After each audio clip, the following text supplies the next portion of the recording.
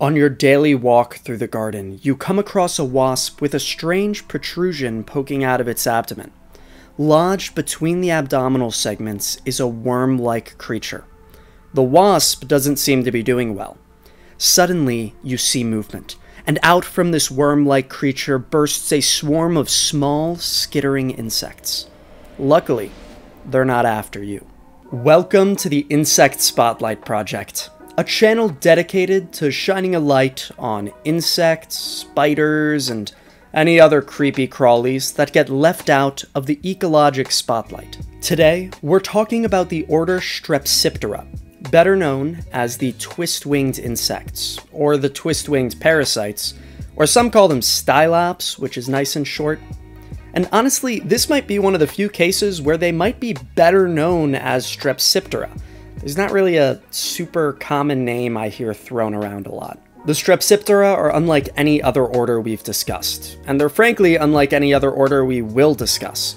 They are a Frankenstein's monster of weird characteristics all jumbled together to form a creature that makes you ponder what evolutionary pigeonhole occurred to cause its existence. Perhaps I'm being a tad dramatic. I suppose it's only natural that an order comprised solely of parasites is going to appear strange to us free-living biota. Now you would never guess it by looking at them, but this strange group is thought to be the sister group to the Coleoptera, the beetles, forming the superorder Coleopterida. And they aren't as small of a group as you might think. Right now there are around 600 described species of Strepsipteran, which isn't a ton by insect standards, but it's certainly nothing to scoff at, and who knows how many more are yet to be discovered. All 600 or so species of Strepsipteran are obligate parasites of other insects, so they need a host to complete their life cycle. The most common hosts are the wasps and bees, but you can find Strepsipterans on leafhoppers, cockroaches, or even silverfish. One family, the Myrmecolacidae, are known to parasitize two separate hosts, with the males parasitizing ants and the females parasitizing mantids and grasshoppers and the like. So for this video, I think it might be easier if we switch things up and do the life cycle first to provide context when we start talking about how to ID these guys. Strepsipterans are holometabolous, meaning they have a complete four-stage metamorphosis from egg to larvae to pupae to adult. Fresh from the egg, the first instar larvae are not your typical squishy worm-like larvae. Uh, instar just means what molt the larvae's in. So rather than worm-like, these strepsipterans come fully equipped with legs, eyes, and cerci, and they're highly mobile. In addition to skittering around, they can also jump using their cerci and abdominal muscles. This mobility is necessary because the first task of a newly hatched Strepsipteran is to find a host. This strategy occurs across multiple orders, such as the Coleoptera and the Neuroptera, and we refer to these mobile host-seeking larvae as planidia, singular planidium. Now, you may also hear the term triungulin, but this technically only refers to the planidia of the blister beetles, family Meloidae. So for the Strepsiptera, better to stick with the more broad term, planidium. I am so sorry, but this is only the beginning of the jargon, so stick with me here. For those who target pollinators, can't go wrong with flowers, and many Strepsipteran planidia will wait on flower heads for a passing wasp or bee. The Strepsipteran planidia target the immature stages of their host, so they'll use a flower visiting adult as a free ticket back to the colony. Now, some might cut out the middleman and remain on their mother's host, where they can be transported back to a nest. For those that are targeting more solitary insect groups, they're just looking to latch onto a nymph or larvae directly. Once at the colony or nest, the planidia will find a suitable host larvae, and they'll release enzymatic fluid, weakening the cuticle and allowing the planidia to burst into the larval body cavity. At this point, the planidia molts into its second instar, which is more worm-like in appearance.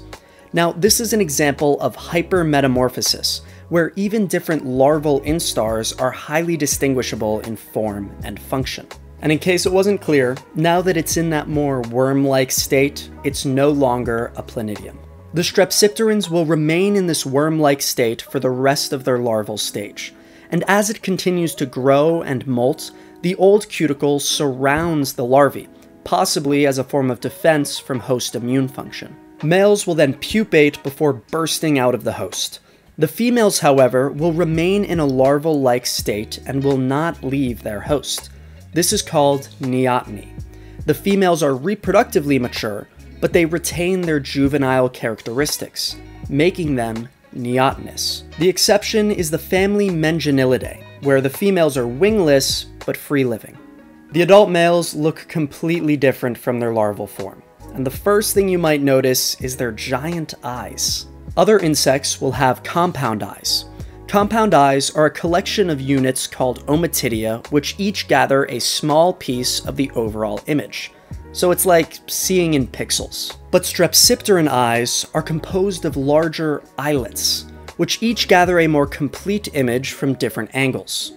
The males also have large flabellate antennae, which refers to that branching structure at the antennal ends. But the best distinguisher is the wings. Like flies, strepsipterans have one pair of functional wings and one pair of balancing organs called halteres. In the flies, the hind wings were reduced into those halteres, but in the strepsipterans, the forewings were reduced. The wings also open in a fan-like manner, and when they're at rest, they're twisted, giving them their common name, the twist-winged insects slash parasites. Their scientific name has the same origin, with strepsis meaning twisting or turning, and pteron meaning wing. So strepsiptera just means twist-winged. Everything the male has helps make him a female-seeking missile. In most groups, the females will stick their heads out of the host and release pheromones. The males use those big ol' antennae to then track down the females. Once the pair meets, the male will puncture the female and inject their sperm directly into the female body cavity, a process appropriately known as traumatic insemination, or if you want to sound nicer, hypodermic insemination. Bedbugs and some other groups do this too. The female strepsipteran, having been dealt a rough hand in the game of evolution, has thousands of eggs develop inside her, and these eggs eventually hatch into those first instar planidia, which burst forth from their mother into the outside world. The developing embryos actually get all their nutrients directly from the mother's bodily fluids and tissues, a process known as hemocele viviparity.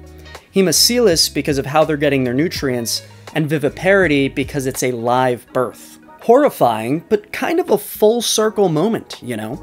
You spend your life parasitizing another creature, and then you end your life being parasitized by your own offspring? I'm not saying it's not disturbing, I'm just saying it's kind of profound, maybe? I may be losing it. The males don't really have this full circle moment, they just kind of go off and die, which is a pretty common theme in the insects. You know, they don't feed, there isn't really a need to.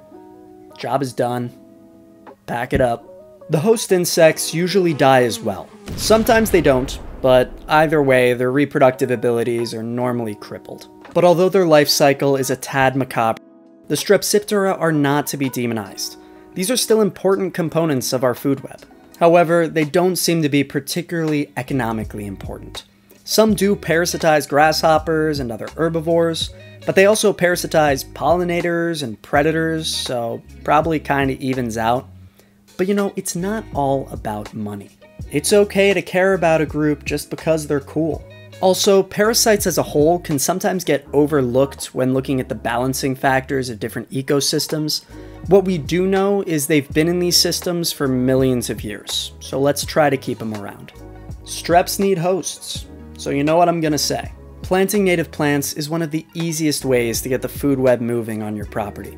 It brings in the herbivores, which bring in the parasites and predators, and pretty soon you've got a whole little happy community. Remember, parasites are not our enemies.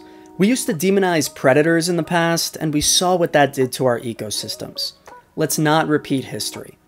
Unless they're like our parasites, and they're causing massive disease and tragedy. That's a totally separate conversation.